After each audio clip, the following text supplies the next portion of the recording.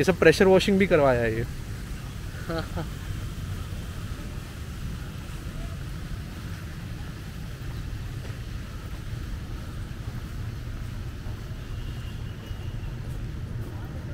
Nursery की तरह है बस।